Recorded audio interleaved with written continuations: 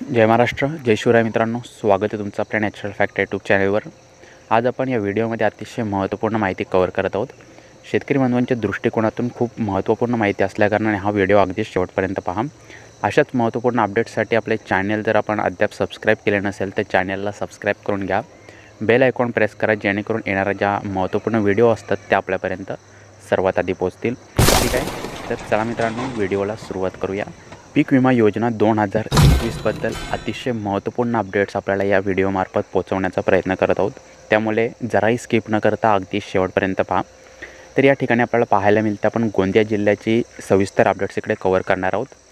तरी ते पाहाल आपण रब्बी हंगाम दोन हजार एकवीसमध्ये प्रधानमंत्री पीक विमा योजना ही राज्यभरात राबवली जात आहे. या योजनेत सहभागी झालेल्या शेतकऱ्यांना स्थानिक नैसर्गिक आपत्ती यामध्ये आपल्याला पाहायला मिळते.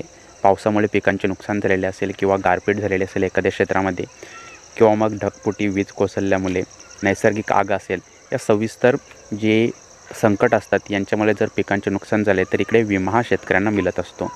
गोंदिया जिल्ह्यात पाहाल तर देवडी असेल तिरोडा सडक अर्जुनी मोरगाव या तालुक्यातील एकवीस महसूल मंडळांनी हरभरा पिकासाठी इकडे अधिसूचित आहेत.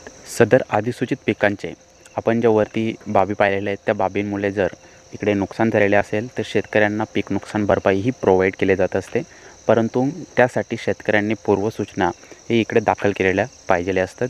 ठीक आहे तर सदर पूर्वसूचना आपण कशाप्रकारे दाखल करू शकता या आपल्या मोबाईलवरून ते आपण इकडे आधी व्हिडिओ बनवलेला आहे. तो व्हिडिओ पाहिला नसेल तर तो व्हिडिओ इकडे पाहून घ्या. ठीक आहे तर अशा प्रकारची सविस्तर माहिती आपण स्टेप बाय स्टेप इकडे कवर करण्याचा प्रयत्न केलेला आहे. माहिती आवडलेली असेल तर लाईक शेअर नक्की करा. व्हिडिओ शेवटपर्यंत पाहिलात त्याबद्दल आपणा सर्वांचे मनपूर्वक धन्यवाद.